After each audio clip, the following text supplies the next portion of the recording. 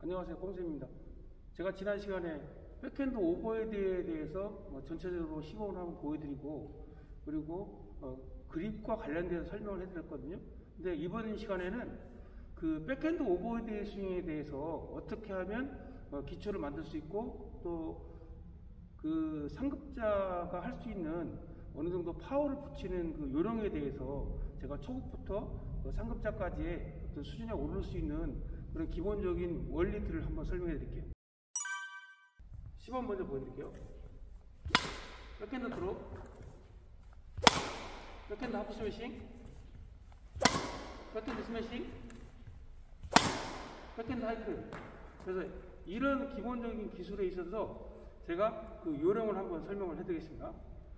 가장 먼저 여러분들 연습해야 될 사항은 이런 백핸드를 이렇게 스냅으로 치려면은 먼저 2번 그립에서 2번 그립에서 자, 가까이 보여드릴게요. 자, 이게 2번 그립이라고 그랬죠? 이렇게 하면 3번 그립. 그러니까 앞에 있는 건 이렇게 친다고 그랬죠?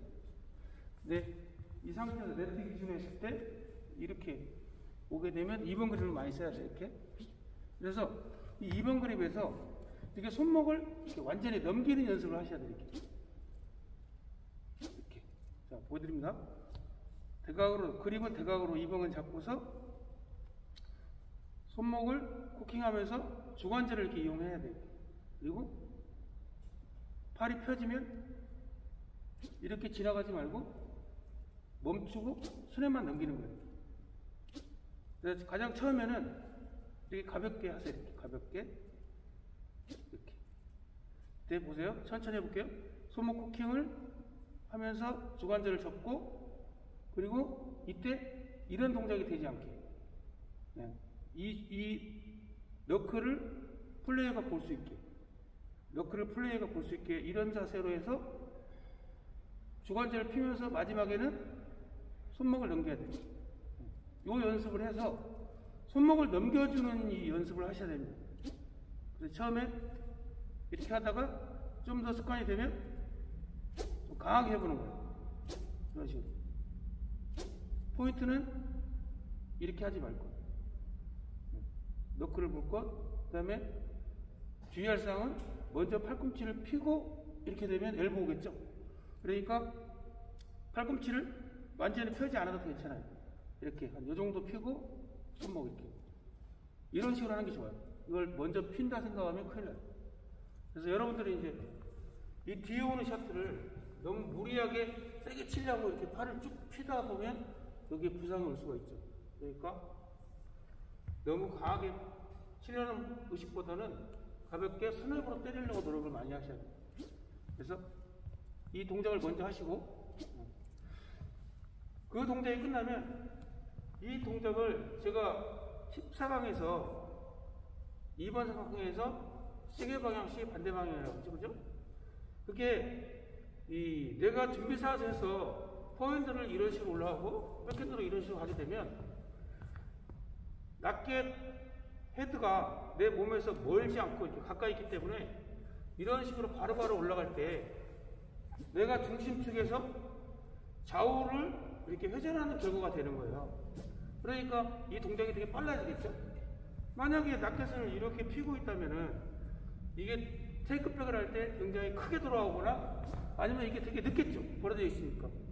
그런데 삼각형을 유지하고 있으면 바로바로 포인트나 백핸드를 갈 수가 있다. 특히 원대에서도 이렇게 하라고 했는데 기본적으로 내가 빠르게 오면 약간은 이렇게 갈 수도 있어요. 그죠? 그렇지만 기본적인 동작은 항상 헤드를 위로 들어가서 이런 식으로. 그러면 이게 시계, 반시계 방향이 되겠죠.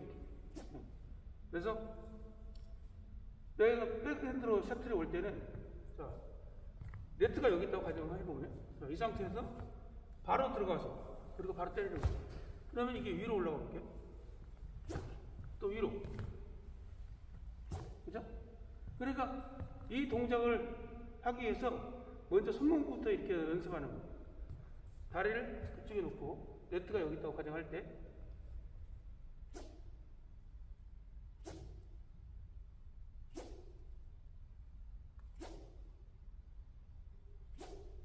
다시 내려가 볼게요.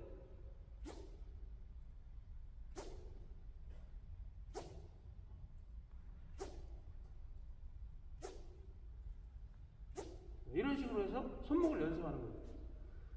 제가 아주 작게 해볼게요. 손목만.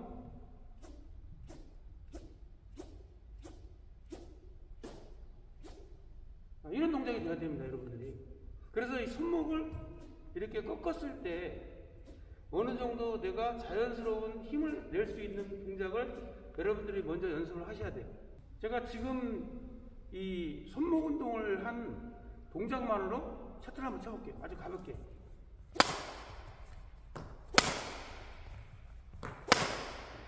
이렇게 기본적으로 일단 셔틀이 임팩트 순간에 스냅을 쓰는 느낌이 있어야 돼요. 이렇게. 그러니까 스냅을 쓰게 되면 헤드가 경우에 따라서는 이렇게 끝날 때도 있지만 경우에 따라서 헤드가 튕겨 나올 때가 있어요. 그죠? 넘어갔다가 반동에서 튕겨 나오는 거죠. 해볼까요? 그죠? 그런데 튕겨 나올 때, 튕겨 나올 때 여기 멈추고 있는 게 아니라 튕겨 나오는데 뭐 제 몸은 다시 복귀를 하는 거죠. 이렇게 되는 거예요. 자, 꺾어질 때 몸이 도는 거죠. 그래서 가장 첫 번째 단계는 이렇게 손목을 쓰는 동작을 연습할 거예요. 대표적으로 세 군데를 하세요. 여기, 그 다음에 여기. 이렇게. 다시 위에. 손목만. 그러면 간단해요. 이걸 할 줄 알면 이제 스윙을 또 해보는 거죠. 팔꿈치를 좀 쓰면서 우선 아래를 빼고 중간하고 위에만 해볼게요. 접고 때리고 들어오고 접고 그 다음에 위로 올라가는 거죠. 어. 뭔가 어디서 본 것 같지 않아요? 14강에서 이 상태에서 들어가서 던지고 조금 위로 오면 들어가서 위로 던지고 좀 더 위로 오면 들어가서 위로 던지면 되는 거야. 제가 포인트 한번 해볼까요? 자, 여기서 옆에 오면 들어가서 옆에. 자, 위에 오면 이런 식으로. 자, 위에 오면 이런 식으로. 여기서 더 오면 오른발을 빼서. 백 똑같이 해볼게요. 여기서 옆으로 오면 조금 더 위로 오면 조금 더 위로 오면 이렇게 되는 거예요. 그러니까 그 원리는 이미 여러분들이 14강에서 어느 정도 배우신 거예요. 그래서 첫째, 손목 꺾을 줄 알 것. 그리고 14강에서 얘기한 시계 방향과 시계 반대 방향 개념으로 백핸드는 시계 반대 방향으로 자, 올라가서 낮게 오면 여기서 던지는 거고 저 위에 오면 올라가서 위로 던지는 거고 그러면 내가 좀 더 강한 이제 스피드를 내고 싶다. 그러면 역시 이걸 이용하는 거죠. 그죠? 자, 이렇게 되겠죠. 여기서 접으면서 좀 강하게 때리는 거죠. 그러면 강하게 때리니까 어떻게 돼? 헤드가 튕겨 나오죠? 그러면 자, 튕겨 나올 때 몸이 도는 거죠.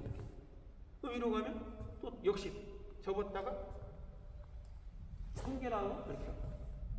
그 여러분들이 이거 할 때, 에, 공작이 잘 안 되는 경우가 보면 이 백을 할 때 손목을 먼저 미리 넘긴다든지 아니면 낙 헤드가 멀리 들어오는 거죠. 이렇게. 그러니까 여기 라인 내리고 있다가 멀리 들어가니까 좀 이렇게 돌게 되죠. 그 어떻게 보면 제가 아까 얘기한 손목이 코킹이 된 상태에서 백쪽으로 테크백을 가져가면 당연히 헤드가 먼저 가겠죠 위로. 그리고 다시 내려왔다가 다시 올라가죠. 그런데 코킹을 유지 안 하고 그냥 가면 먼저 올라가는 헤드가 올라가지 않고 내려가겠죠. 그리고 이제 이렇게 치겠죠. 그 힘을 내기가 좀 어려운 거예요.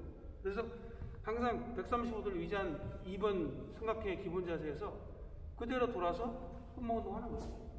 그대로 들어가서 손목 운동을 하는 거예요. 그런데 1단계보다 좀 달라진 것은 1단계는 손목만 이용하는 거예요.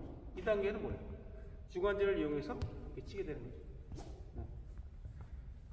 이렇게.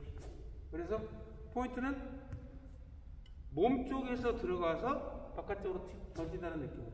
절대 이런 식으로 들어가면 안 된다는 거예요. 쿠킹이 되고 팔꿈치 접고 그 다음에 던지면서.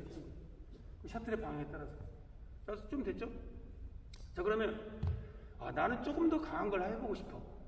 그러면 이 동작에서 상하체를 이용하는 거죠.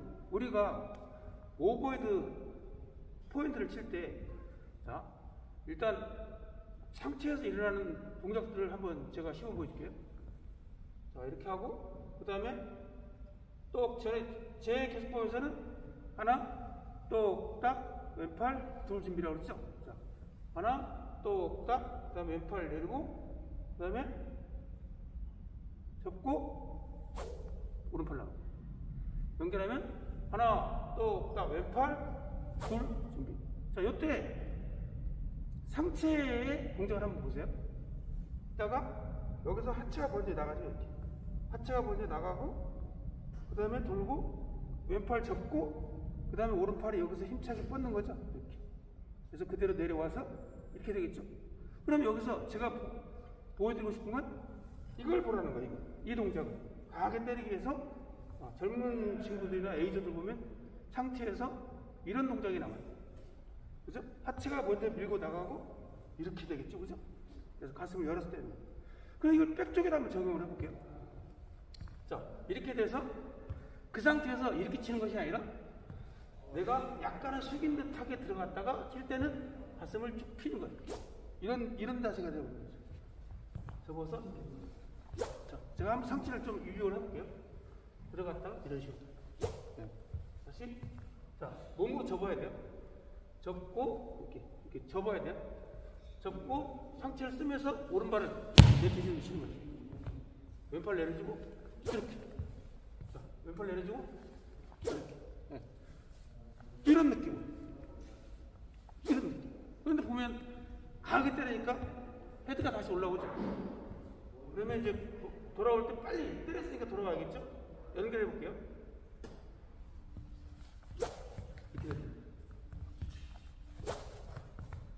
그래서 강한 스매싱이 나오는 거예요.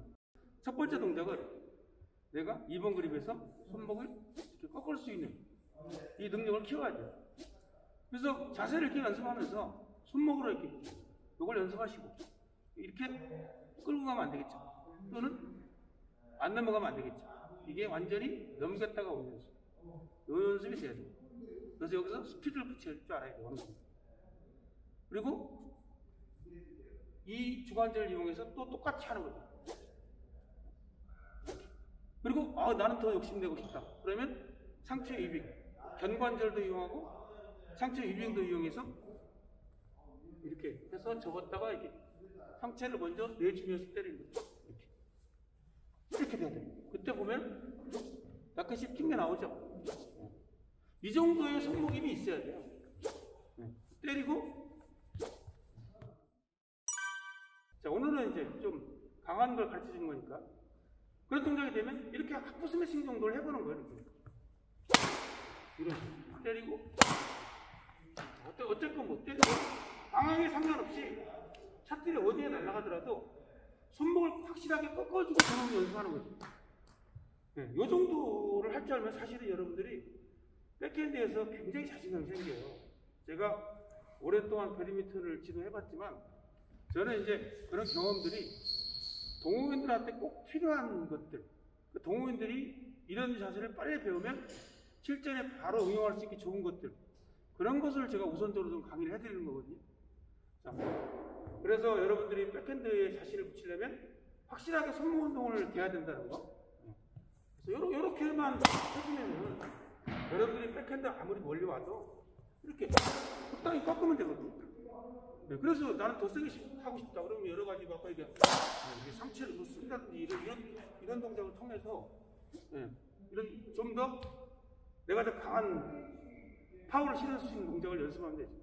그러니까 강하게 때리려면 결국은 임팩트는 손목인데 중요한 것은 그 스윙의 원리가 내 몸에 중심축에서부터 돌아나가는 어떤 폭발적인 힘을 가져야 돼요. 백도 마찬가지예요. 이렇게 중심축에서부터 붙어서 던지는 이런 동작이 나와야지 이걸 먼저 이렇게 펴서 간다든지 아니면 너무 지나치게 크게 막 치유한다든지요. 아니면 어깨를 가지고 한다든지 그래서는 절대 파워가 안 나와요. 또 이 백핸드라는 것은 여기서 가는 역동작이잖아요. 그죠? 그러니까 내가 이렇게 여기서 쫓아가서 역동작인데 이걸 가서 이렇게 내리기가 되게 힘들어요. 역동작이기 때문에. 그러니까 내가 어느 정도 손목임이 있으면 그 손목을 확실하게 연습해서 그런 동작. 아니면 여, 여성분들 같은 경우는 이런 이것들을 얼마든지 배울 수 있거든요. 제가 뭐 50대 여성분들도 굉장히 많이 지도해 줬어요. 제가 30대 가르칠 때도 뭐 40대, 50대 여성들 이거 충분히 다 하더라고요. 다 합니다. 뭐 이게 되면은 이거 배우면은 사실 이 정도 여성들이 그 시작을 할수 있으면 에이즈원들 전혀 빼기 없- 두렵지가 않아요.